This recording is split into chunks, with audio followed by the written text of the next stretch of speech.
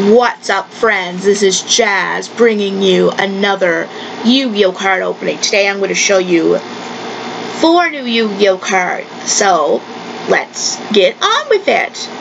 We have Zombina, which actually looks a little familiar, which, first time for everything. We have Trickster Lilybell. I actually really like that.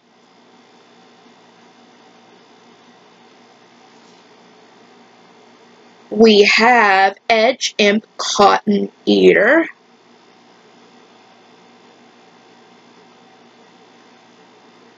And the final card of this opening is Sin Sin Synchro Hall. And it is a holographic card, guys my gosh, I'm, I'm, gonna try to get a better lighting, but see, it's holographic. My gosh. Yeah, I actually got a holographic card. I think I don't remember getting one in Yu-Gi-Oh! for a long time, so I know I'm gonna have to be careful with that card. So anyway, if you enjoyed this card opening, give it a big thumbs up. And if you're new to this channel and you like what you see, please subscribe. Help this channel a lot. And don't forget to hit the bell notification so you know when new videos are coming out. And I will see you guys in my next video.